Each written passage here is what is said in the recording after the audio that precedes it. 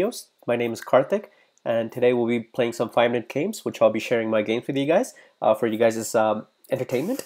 And uh, hopefully, you guys will have some fun and we'll learn a few things. All right, so let's get request a game. Let me just move this out of the way. Change it to five minutes, play a game. There we go.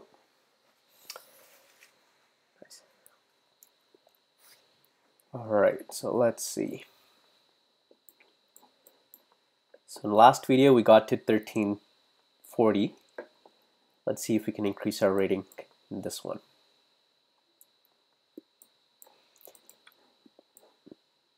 To 1400 if possible. We'll see. Hmm.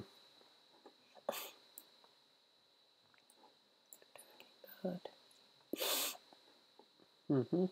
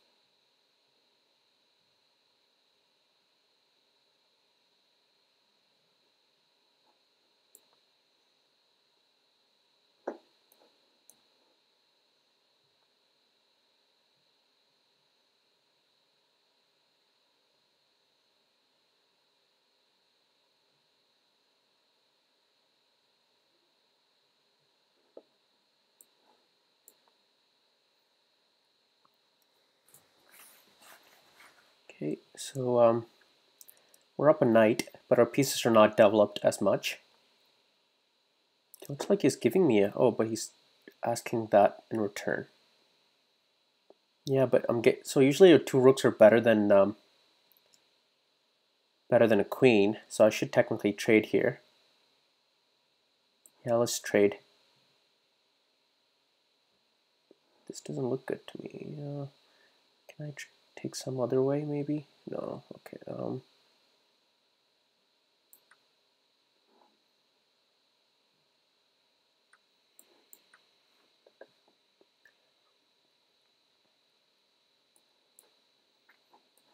this as well. Okay, let's take, hmm.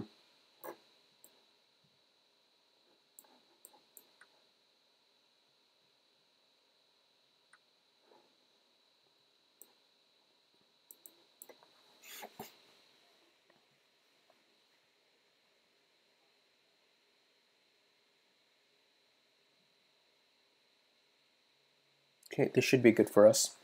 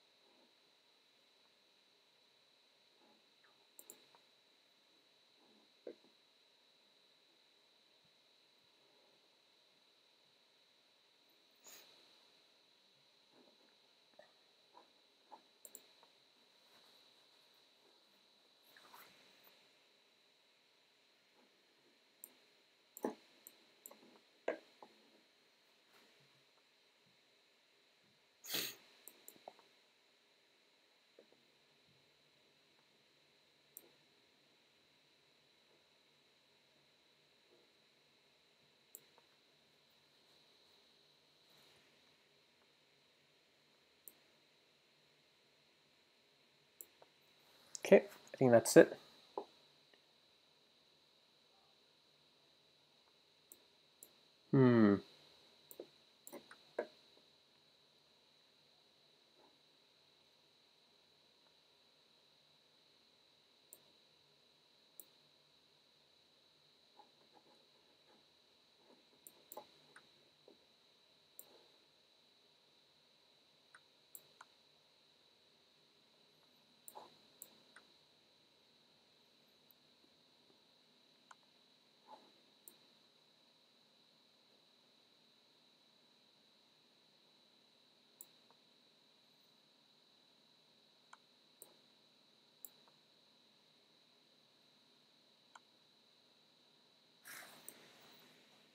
Hmm.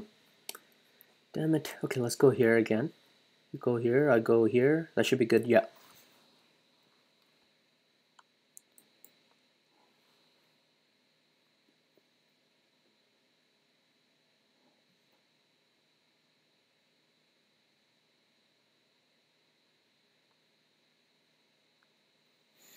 Hmm.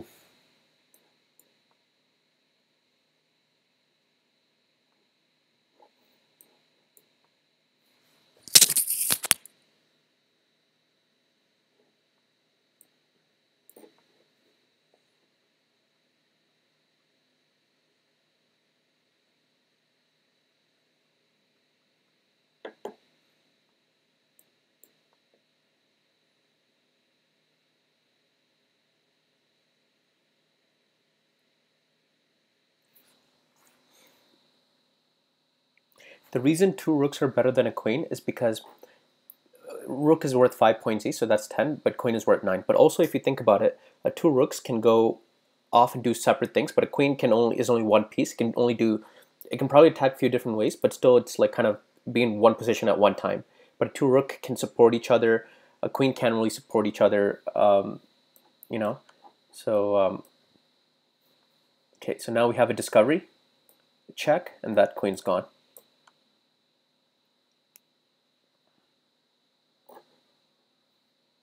Unless if he goes here, which would have been mate. But so um, so let's just go.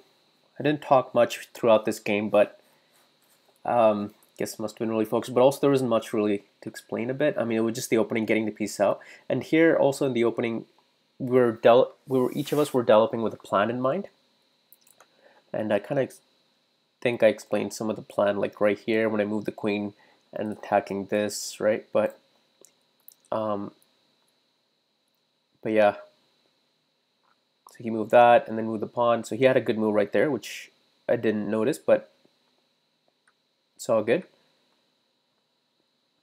And um, yeah, it was just pretty even. It's pretty even till all the way here. Now right here when you attack my queen, uh, this is a good spot because I went back, went to this is a good spot usually for the queen and I'm also attacking that. But here he didn't notice it for some reason. So um, yeah, it's always when your opponent makes a move, first thing, what do you always do? You ask, what's the threat? Or why he moved, made that move, right? So um, looks like the our opponent didn't do that, so he lost Because if you ask that question, he would have noticed, oh, my knight's under attack. So he could either make a bigger threat of either, you know, checkmate or something else, but or take a bigger piece than the knight, or he could um, go for other things if you want to, but at least he would have recognized the threat. And then I think it would defending here would have been a better move, but defending the knight or moving the knight out of the way. Because now he just lost a knight for nothing. So um, yeah, he brought his rooks into the game. That was good. My pieces were a little underdeveloped right here. I did make a lot of moves with my queens, but it's okay because I was still able to hold my position together. And um, yeah, I moved this here because um, because of the uh, queen x-ray right there if the bishop ever moved out of the way. But um, then got my bishop into the game again. Um, so I mean, right here, um, as I was saying before, I don't really think this is a good move because uh, two rooks are better than the queen. Because as you guys saw, like his queen, uh, we'll go when we go to the analysis at the end. You guys will see again. His queen wasn't able to do much against my two rooks, and I hope that I had a bishop too. But even if you just have two rooks versus a queen, uh, unless if the rooks can't coordinate each other. Uh, if the rooks can't support each other because there are too many pawns in the way, too many of the own pieces or something like that, then sometimes queen can overpower two rooks. But um, in this case, I mean, like I had an extra bishop to support my rooks, and my rooks were always like being coordinated most most of the time, and they were supporting each other. So um, it's um, it's kind of hard to um, play with a, just a queen. So yeah, right here. So my mm, so right here, my bishop is almost trapped. I can't come here. Like uh, like I could come here for now, but I I can come here. That's it. I can't come here. I can't come here. And if I come here, if I ever move my bishop right here, then he has this move moving his pawn and just trapping my bishop. So my bishop is almost trapped. Now with this queen move, what his threat was to bring the queen here, and then I can move my bishop anywhere. So for example, let's say I did something like something like this. Then if he just goes right here, then I, if I go here, he'll take my bishop. If I go here, he'll take it. If I go here, my bishop's trapped. So that was a threat. So um, what I did for that was I um, right here. So what I did for that is I brought my rook into the game, and at the same time, if he did bring his queen now, uh, like right here, my bishop can come here because it will be supported. So that was his threat right here by moving the queen, like right here, he moved the queen to attack my bishop. Um, so right here, he did have an attack for the pawn right here, but um, I mean, I had an attack for going on his pawn as well, so it would have been pretty even. Um, yeah, just slowly getting my pieces coordinated, uh, getting into good positions, right?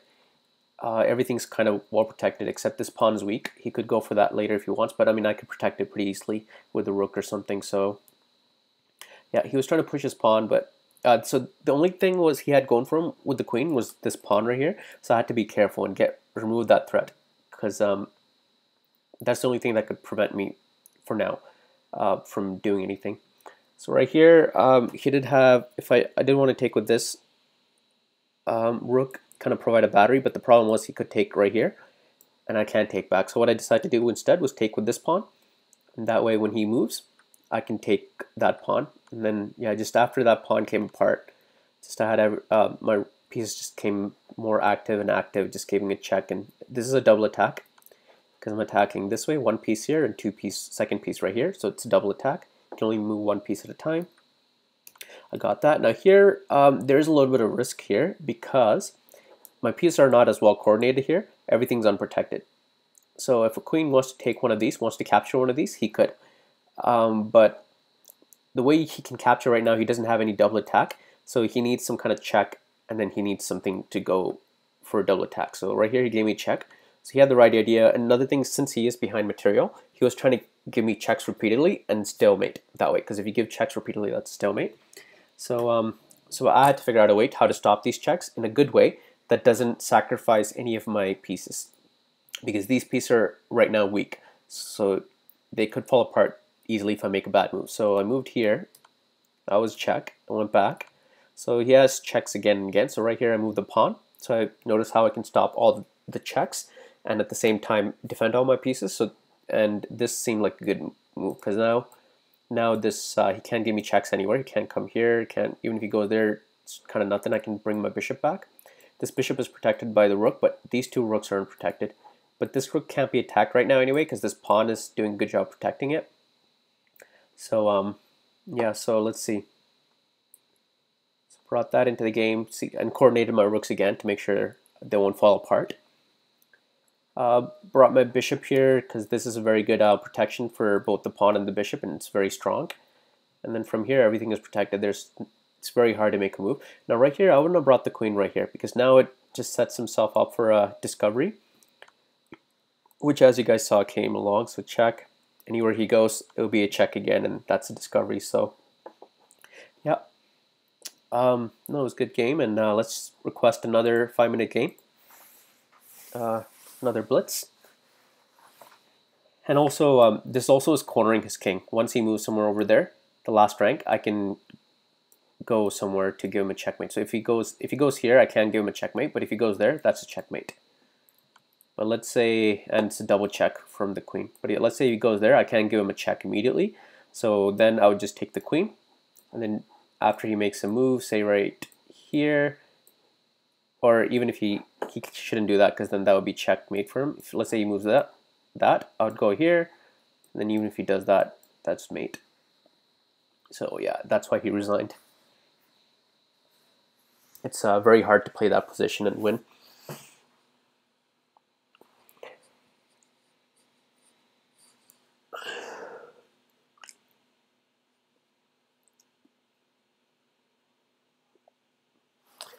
All right, another blitz game. Let's go.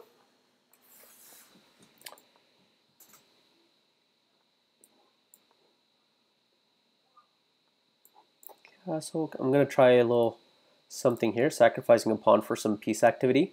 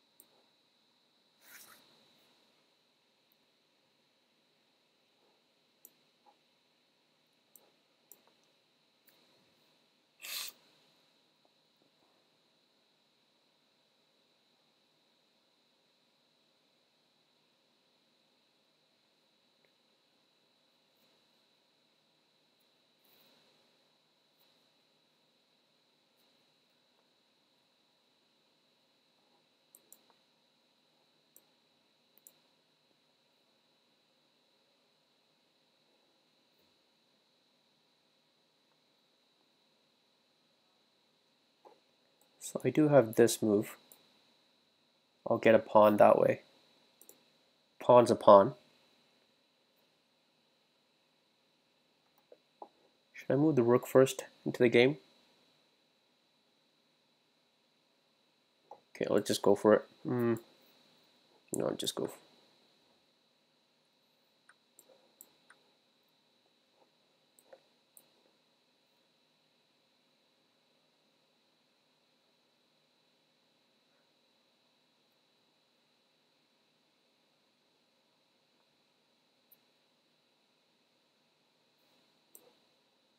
Yeah, that's it.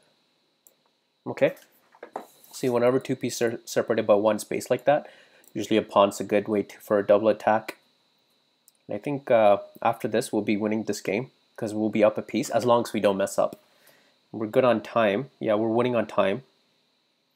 Okay, we just got to be careful.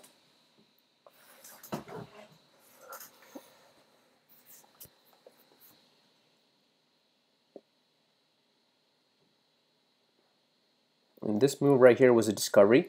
So that's how I saw it. This was attacking this right here. So I had to move this piece where I can go anywhere. And this is just a knight for a knight, but I got an extra pawn.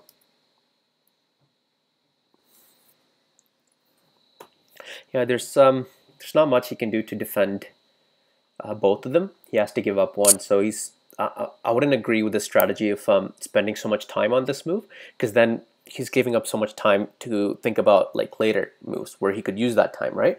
He could probably because he could play for time right now and try to beat me on time if he wants, but um, he's given up a lot of time on this move now. So now he's giving me an option of taking either or, and uh, I think I should take. Yeah, I'll just take right now. I was thinking of waiting maybe, but no, I'll take. And bishop's a little bit stronger, so I'm gonna go with the bishop as long as I'm not in under under any danger. I still have this move with the bishop coming right here, attacking the knight, and then bring my other knight into the play. And I'll have all my pieces out. Now he is going for the bishop. I'll come right here, because usually this setup is really nice. When you have a knight here, and then it's facing the knight like two spaces away, it's uh, blocking the knight from coming in all of these squares. So that's always nice. So I'll go right here. I'll go right here actually. The reason being he can come, no, uh, yeah, I'll go here. So I can bring my ship here. You could try that, but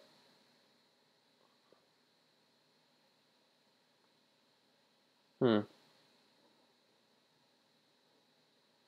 Should I go for this? What's his plan? I'm not sure what his plan is. Yeah, let's just go for this. Oh no, that's a bad, no, it's good. Yeah. He can't do anything with this knight anywhere he goes. Yeah, I saw that, but I have the bishop right here. Hmm. Just bring this right here. Oh, but he has this pawn that's under attack. Okay, let's just trade queens. So whenever you're up material, you want to trade, but I drop this pawn right here. Mm, he does have a no. He doesn't have a check. Okay, let's move the bishop right here. I think we'll have a pretty good game. Yeah, he has a check. Let's just go right there. He has a rook coming into play, which he doesn't care about right now. Um, let's offer a queen trade again. but now I'm dropping this pawn. Okay, dropping all the pawns. That was like two pawns I gave him. Alright, that's okay.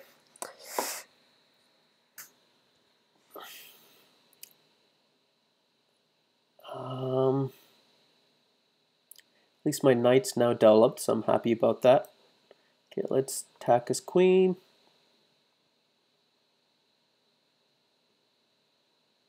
If he lets me do this move, then that would be good for me, because then that's a fork, which he doesn't. But let's offer a queen trade.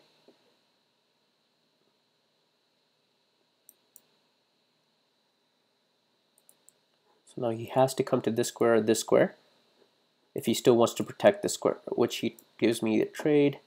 So I'll take that, now this is a threat. Okay, which he doesn't notice, so let's go with the check. Now here, I'm going to take this first because it helps me um, reduce the pieces. If I just take this, then that would be 3 for 2. I guess I can take this later too. Yeah, I'll just take this, giving a check, because that's better. He takes, and now I can trade down. Yeah, and I think we're good. This pawn is weak, so let's just attack this. He will try to defend, but we have this.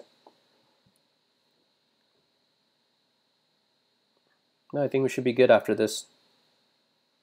Just um, give up a rook for a rook, and then um, because when you're up just even a bit, little bit of material like you saw, uh, so 1400 guys, sweet. So when you're up even a little bit of material, like uh, one by one piece, at least like something like um, three pawn, three pawns, so like a rook, no, not a rook, a knight, a bishop. Um, then if you trade down, the effect of that piece will be fought more. Like if you have 100 versus 99 men in an army, so 100 versus 99, you, they won't feel the difference. But as it comes down, like uh, 50 versus 49, and then you know 5 versus 4, and then finally 2 versus 1, they'll really start to feel the pressure when it's 2 versus 1 versus 100 versus 99. There might not be so much effect. So same thing in chess. As you trade down, if you're a little bit higher in material, um, it will be good. Usually just a small pawn doesn't make much of a difference. If they play well, they could catch up. So um, just if you're up by a knight or a bishop, it's usually a good thing. Okay, so let's just analyze this game. Um, yeah, just a normal opening, getting the pieces out. Uh, here, what I was trying looking for was giving up a pawn uh, to gain more activity in terms of start attacking his pawn, and then um, and I could always get his pawn back if I ever need to. But also, I thought it would help me develop much faster because he would have moved his knight twice. So um, that was my strategy there. So giving up that pawn, trading off, opening up that opening opening up this file, but I didn't really want to trade the queens here. And I thought I also could bring the rook in later to attack his queen and gain that file. I didn't want to give up anything here for the, you know, like, I don't mind if he wants to trade, but I didn't want to ruin my pawn structure, so I brought my bishop back. So here he moved out of the way. I thought he would trade, but since he moved out of the way, that gave me the op opportunity to attack his knight, uh, an x-ray attack. But this is in the way, so I attacked a pawn. He got my knight, I got his knight, so it was knight for a knight, but I got an extra pawn. Like here, this was a mistake. I don't know what he thought. Maybe he thought I would take. Usually the first one to take whenever you're trading for like same material, like bishop and bishop, usually the first one to take loses. So you don't want to take, you want to let him take. But also another thing is the best move whenever it's like piece of, your pieces are one space apart, like right here from this square. So these two are one space apart. Usually a pawn can attack it. This is called a double attack, what we did, because we are attacking two pieces at the same time. And then he can only move one piece at a time, unless if he gives a check and then he can move another piece. So it's like he gets an extra move. But here he can't go anywhere with the check, because if he gives me check anywhere here, I'll just take him. So um, yeah, I mean, he has to give it one piece, so he's like, I'll let you decide which one you want and just avoids both of them. So I could leave it here for a little longer if I want to develop my piece, but I thought I might as well not try to squander the opportunity, like let go of the opportunity and grab it right now. Sometimes if you complicate things too much, it'll backfire on you. This is another good some setup for the bishop when it's two spaces away from a knight like this because it blocks the knight from making any progress right here. Like that. It covers all of these squares that the knight can come. The bishop covers it. And check right there, yeah. Mm. So right here again, same setup right here with the bishop anywhere the knight can come it can uh, be attacked but right so this covers this square this square here you already can see the pawn is covered and this is covered by the pawn and he did have if my bishop wasn't here he did have a double attack right here uh, so right here he can attack uh, my queen and my rook so that's attacking two pieces at a time double attack I can only or it's also called a fork because a fork when you has like three things that it can like attack into, right? And then you can eat it. So, um, so, but same thing. Um, but yeah, I can just take this right here. It's protected. So he took back, offered a queen trade. So here I started dropping a lot of pawns.